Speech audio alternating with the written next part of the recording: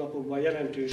Az előbbiekben Dobos László polgármester úr átadta, és a, a, még beszélgetünk, addig a többiek birtokba is veszik a felújított ifjúsági házat, megnézik, hogy milyen szép lett ez az épület. A beszédében elmondta, hogy fontosnak tartotta az önkormányzat mindenképp, hogy felújítsa ezt az épületet. Ez így van, sok szeretettel köszöntöm a kedves televíziónézőket. Egy kényszerű gazdasági helyzet vitt arra bennünket, hogy idő, ideiglenesen szüneteltessük az ifjúsági ház működését.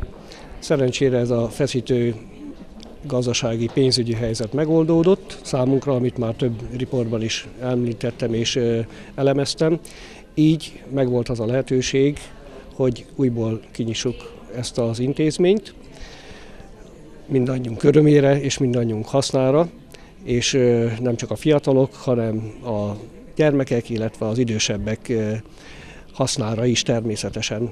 Hiszen ez nem csak egy ifjúsági ház lesz innentől kezdődően, hanem egy könyvtár, a Csokonai könyvtár ide fog költözni szépen apródonként, lassanként, hiszen itt van annyi tér, ahol a könyvtárat el tudjuk helyezni. Tehát egy komplex szolgáltatást fog nyújtani, megvannak azok a termek, ahol a könyvtár fog elhelyezkedni, és megvannak azok a terek, ahol az ifjúság szórakozhat, töltheti kulturáltan a szabadidejét. Mondhatjuk, hogy mind három színbe lesz lakva, hiszen itt elmondta, hogy a zenekarok visszaköltözhetnek a pincébe. Itt ez a szép terem, itt gondolom, hogy hangversenyek bármilyen nagyobb rendezvényt meg lehet tartani. Tehát tényleg egy igazi kultúranapi ajándék volt ez azt gondolom a városnak. Az az igazság, hogy próbáltuk úgy időzíteni a kivitelezést, a felújítását az épületek, hogy valóban a Magyar Kultúra napján átadhassuk ezt az intézményt, ezt az épületet. Nagyon szépen dolgoztak a kivitelezők, szépen elő volt készítve a Dériné művelési központ vezetése által, így sikerült ezt megtennünk.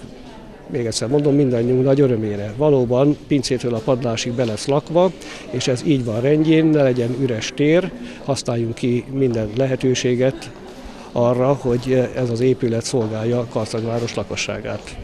Ma a Magyar Kultúra napján beszélgetünk, hiszen ma volt ez a jelképes átadás.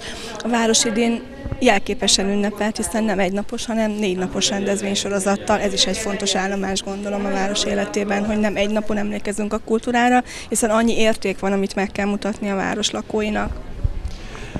Karcag, a nagykunság rettentően gazdag a kultúráját tekintve. A pár perccel ezelőtt befejeződött, illetve pár perccel ezelőtt jöttünk át a délinőből, ott a népművészek, a Karcega Népművészek Egyesülete kiállítását tekinthettük meg. Ilyenkor jön rá az ember, hogy milyen óriási értékek vannak ebben a városban, milyen óriási értékek rejlenek az emberekben. Valóban Általában egy, napot, egy napot szokott lenni a Magyar Kultúra napja a nevéből is adódóan, de úgy gondoltuk, hogy megéri megmutatni mindenkinek ezeket a szépségeket, ezeket az értékeket, amik itt vannak karcogon, amik itt megtalálhatóak, felelhetőek, és nyilvánvalóan miután minden rendezvény más réteget érint, bíztunk abban, hogy teltházasak lesznek ezek a rendezvények, és eddig ez így is volt. Nagyon szép volt a megnyitó rendezvényünk, gyönyörű a kiállítás, nagyon szép a Kavai László festőművésznek a kiállítása. Örülünk az ifjúsági ház átadásának, Holnap kerül sor egy könyvbemutatóra, Rideg István tanár úr könyvbemutatójára, és pénteken egy koncerttel zárul a, a hét, a Magyar Kultúra napja hete itt Karcagon, tehát úgy gondolom, hogy ez is egy színes program kínálatot biztosított az érdeklődők számára. És hát minél több ilyet kívánunk még magunknak, a város lakóinak, hiszen az önkormányzat mindent meg fog tenni, gondolom ebben az évben is, hogy nagyon színes programokkal várjuk a lakosokat.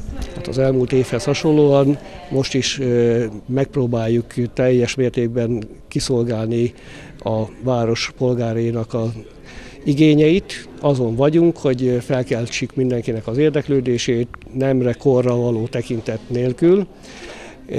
A város, a nagykunság mindenképpen megérdemli azt, hogy színvonalas kulturális rendezvényekkel lépjünk, rukkoljunk ki, és ezen azt kívánom, hogy minél többen vegyenek részt. Köszönjük szépen, és reméljük így lesz. Köszönöm a lehetőséget.